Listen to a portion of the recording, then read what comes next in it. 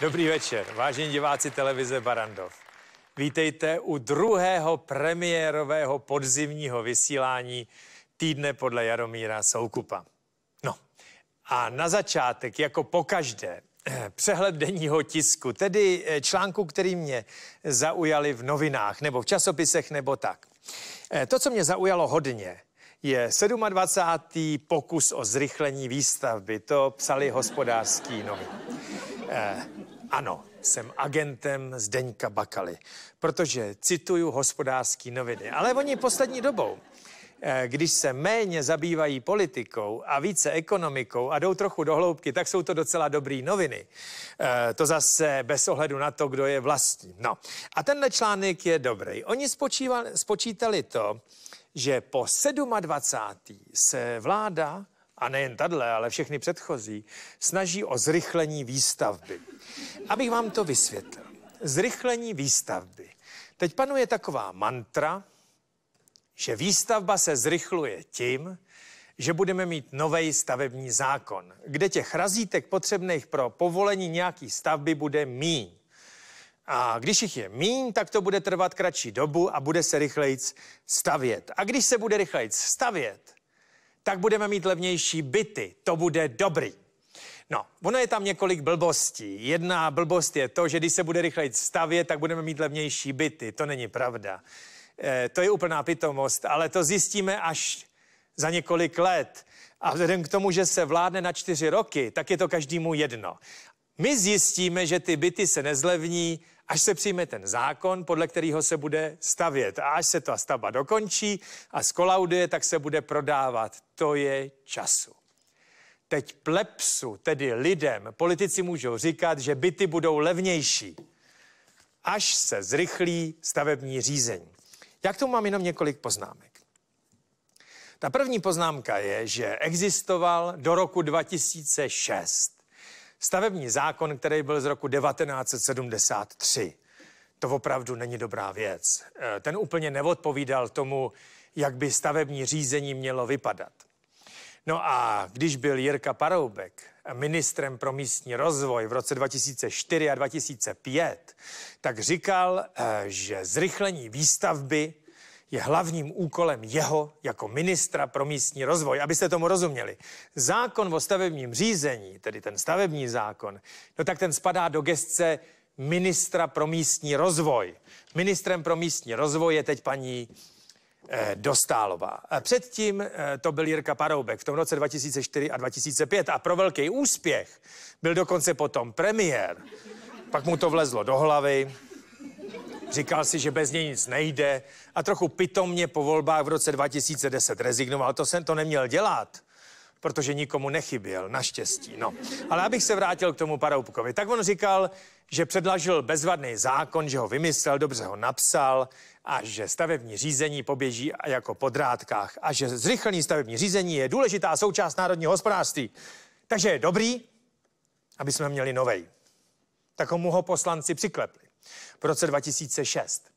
A od té doby platí ten stavební zákon, který máme teď. No tak takhle. Jirkovi se povedlo ten stavební zákon parlamentem protlačit. To opravdu jo. Akorát se mu nepovedlo to, proč ho chtěl pot, protlačit, rozumíte? On chtěl zrychlit to stavební řízení.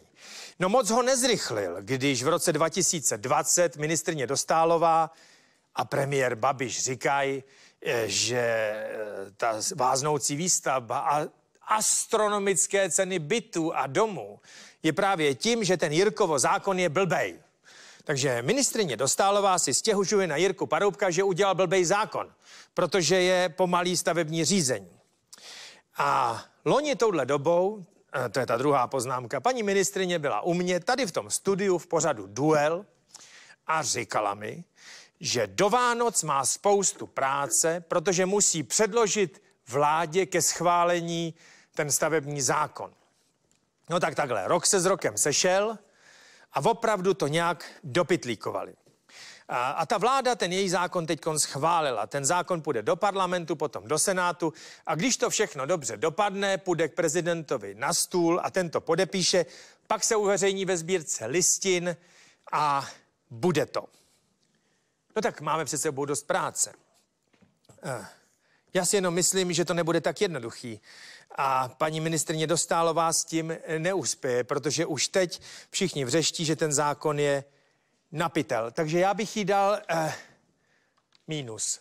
Protože před rokem říkala, že už je to hotový a jak se zdá, tak to hotový není. Eh, a k tomu mám jednu poznámku. Eh, premiér Babiš, prezident republiky si stěžují, že ty stavební řízení váznou. Eh, váznou, protože je spousta, dokonce prezident tomu říká, ekologických teroristů, který nechápou, že pro veřejně prospěšné stavby je potřeba odprodat pozemky státu, aby tam mohli vést silnice a že jenom nezodpovědní lidé a organizace, kterým neleží blaho nás všech na duši, tohle to dělají, protože když někde má vést uh, silnice, dálnice a podobně, tak všichni mají být rozumní a ty uh, pozemky za rozumnou cenu státu odprodat, aby tam mohl postavit tu dálnici. A teď ta poznámka. Uh, to, že v Praze je situace s dopravou více než špatná, to víme. To, že když kamion jede od Brna a chce do Polska, tak musí projet takřka centrem Prahy, protože žádný obchvat Prahy neexistuje. A ten obchvat Prahy neexistuje proto, že neexistuje takzvaný městský okruh, která existuje. Ona existuje jenom kousíček, směrem na Plzeň. Ale směrem na Polsko, na Hradec a tak dále neexistuje. A ty kamiony a auta musí, musí na Spořilov a tam projet jižní spojkou. No v podstatě na dohled Pražského hradu. No. A uh, ten problém spočívá v tom, že jsou nezodpovědné organizace a nezodpovědní lidé, kteří nechtějí prodat pozemky státu, tedy městu nebo státu, tak, aby ta dálnice, ten obchvat tam mohl vést, ten pražský okruh. Zajímavý je, že jeden z těch nezodpovědných občanů a organizací je firma Agrotrade a Xaverov, který vlastně nějaký pozemky u toho pražského obchvatu plánovaný a ty ho prodat státu nechtějí. Protože tvrději, protože tvrději, že jim nabízí málo peněz za ty pozemky, kde má vést ta eh, silnice. A říkají, že jim to nemůže stát vyvlastnit protože ty jejich pozemky jsou v nějakém zeleném pásmu, který tam být musí a to zelený pásmo není veřejný zájem, prostě státe zaplať osminásobek odhadní ceny. Pakže to prodaj. No, to je celkem normální. Takhle se firmy chovají, ty nezodpovědné firmy. Problém je v tom, že tahle firma patří bratrovi nebo rodině, nebo jak to tam mají, pana ministra zemědělství Tomana. To mi přijde kouzel. Bratr říká, eh, že je potřeba zrychlit stavební řízení. Že je potřeba podpořit naší ekonomiku tím, že se bude stavět. No a ten druhý bratr říká, že se na něj vyprdne, protože chce osminásobek. E, to je kouzlo. No, teda když jsme u toho Tomana, pojďte se podívat na jedno video. Teď vám ukážeme, jak bude vypadat e, centrální kampaň sociální demokracie v krajských a senátních volbách. Tak jedna, dva, tři.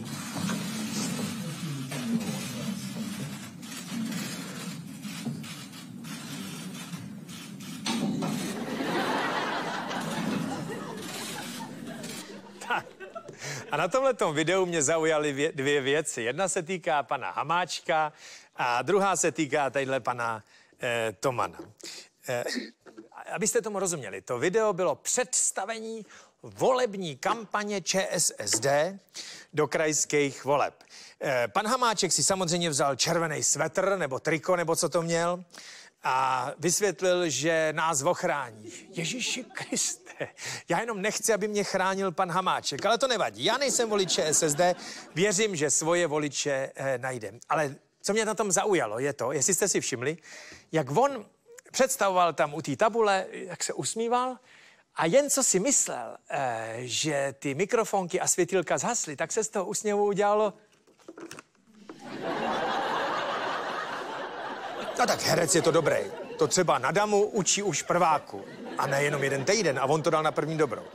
A pak mě tam zaujal ten Toman. On, eh, já nechci si z nikoho dělat legraci, ale eh, teda mezi náma eh, PR poradci ČSSD by mohli říct, že není dobrý úplně do přímých přenosů dávat pana Tomana, vy určitě víte proč, ale mezi náma, oni ho vzali do ČSSD.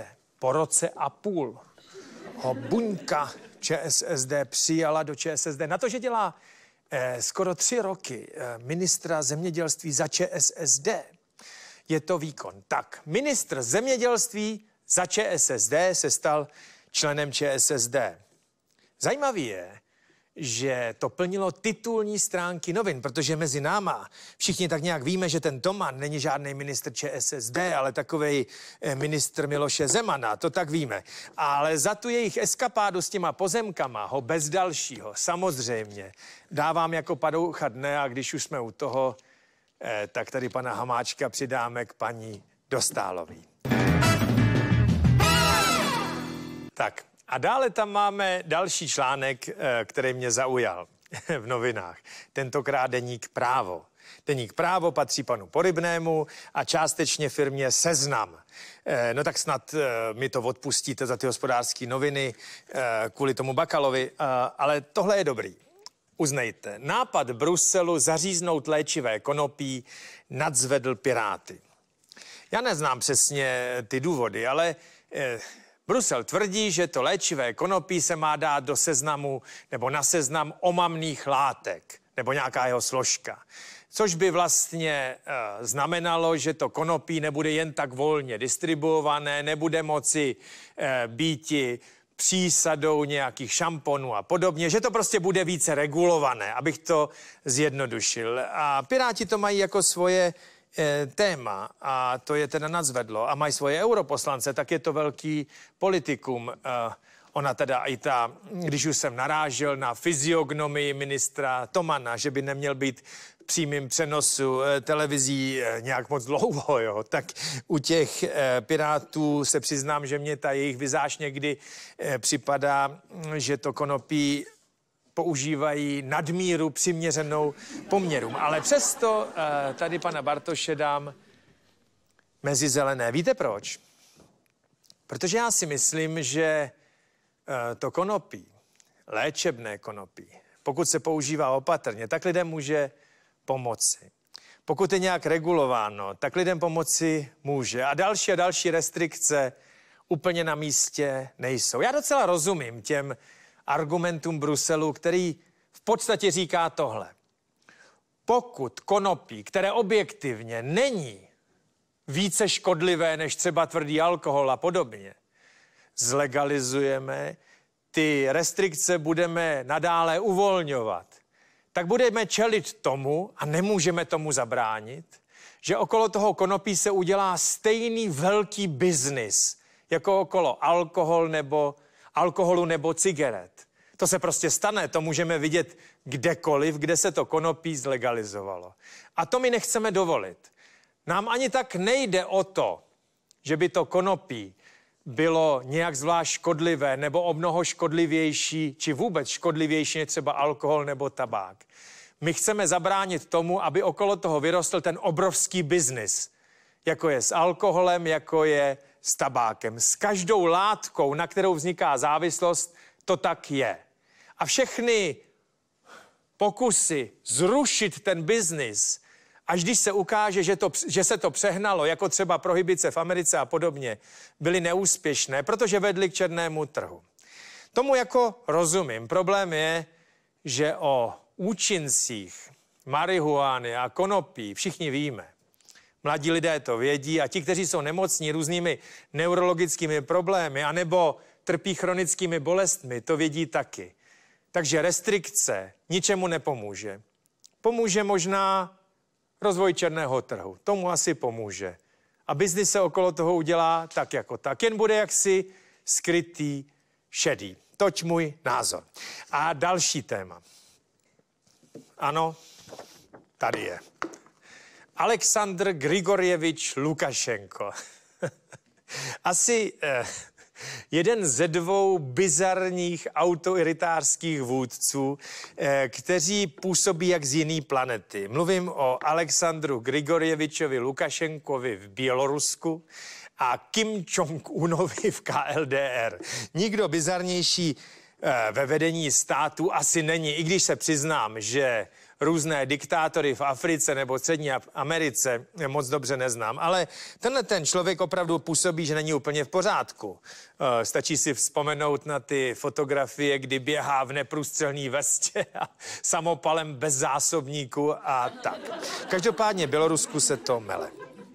Jsou tam demonstrace, demonstrace. Oni tam byli prezidentské volby, které vyhrál, myslím, z 84% Aleksandr Grigorjevič Lukašenko a Minsk bouří. Minsk je hlavní město Běloruska, bouří. Jsou tam statisícové demonstrace a Aleksandr Grigorjevič Lukašenko uh, vyhrál ty volby nad uh, tohletou paní, což je paní Cichanovská, to byla jeho protikandidátka. Ta vodila do Litvy a tvrdí, že ty volby byly sfalšované. Evropský stát, Evropská unie, včetně některých našich představitelů, říkají, že by se měly zopakovat. No, Aleksandr Grigorjevič Lukašenko říká něco v tom smyslu, že ty volby možná sfalšovaný trochu byly. Ale kdyby nebyly sfalšovaný, tak on by dostal 95% a nejenom 84%. A že žádný volby opakovat nebude. A Minsk bouří, jak jsem říkal. Na některých demonstracích v Minsku bylo přes 200 tisíc lidí. Já jsem v Bělorusku několikrát byl. Minsk je krásné, moderní město, čisté, lidi, je tam univerzitní město, je tam spousta mladých lidí, jsou tam kavárny, restaurace a tak dále a tak dále. A já věřím, že Minsk chce na západ. To asi ano, převážná většina lidí tam. Problém je v tom, a teď tedy nechci být poslem špatných zpráv, co udělají Bělorusové protože tak jako v Praze je většina Bělorusů v jiných městech, ne v Minsku, a tak trochu to považují Minsk jako za takovou minskou kavárnu, tak bych to řekl. Já nechci být poslem, poslem špatných zpráv, ale řekl bych, že to trošku povolí. Mimo jiné víte proč? Víte, co je národní běloruské jídlo? Národní běloruské jídlo jsou brambory na všechny způsoby.